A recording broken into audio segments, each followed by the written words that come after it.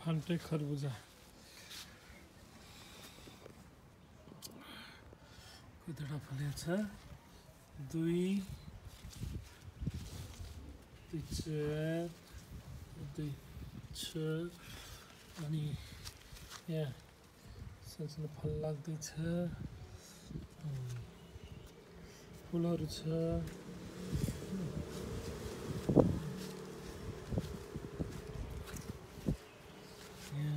एउटा छ दुईवटा छ सानसानो फुलहरू छन् त्यताको भयो छ यो लगभग धेरै अब यो काठमाडौँमा पच्चिस डिग्री छब्बिस डिग्री छ दिनमा तापक्रम त्यही भएर यो अलिकति चालिस पैँतालिस दिन लाग्छ पाक्नलाई तर तराईमा तिस दिनमै पाक्छ गर्मी दिन। यहाँ पनि एउटा फलेछ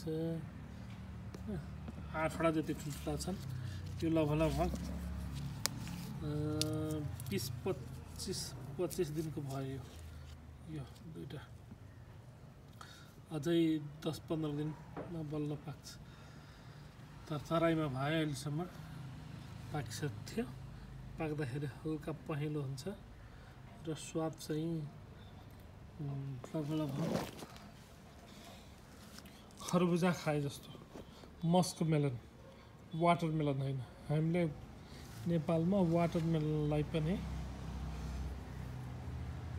नाम चाहिँ खरबुजै भन्छौँ तर त वास्तवमा त्यो इन्डियातिर त्यसलाई खरबुजा भन्दैनन् खरबुजा मस्क मेलनलाई भन्छन् वाटर मेलनलाई तरबुजा भन्छन्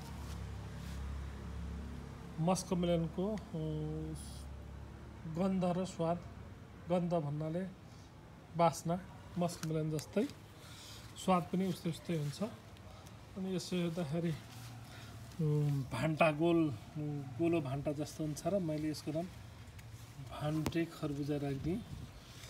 अनि अरूले बजारमा जान्यो भने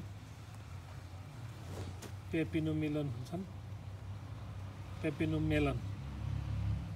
अनि यसलाई बिगार्दा बिगार्दा पुपिनो पनि भन्न थाल्छन् त्यही भएर यसको नेपाली नाम भान्टे खरबुजा हुने सबैले चिन्छन्। र सजिलरी चिन्न सकिन्छ बोल्न सकिन्छ त्यही भएर यसको नाम भान्टे खरबुजा। अनि यो डायबिटिज क्यान्सर ग्यास्ट्रिक भएकोहरूलाई अति फाइदेमन्द सन्चो गर्छ भन्न मिल्दैन। यो यो फलले खाँदा। अनि महिनामा एकदेखि डेढ किलो फल्छ।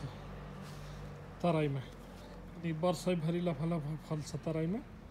अनि यो काठमाडौँ चाहिँ वर्षैभरि अलि फल्दैन। जाडोमा फल्दैन। धन्यवाद।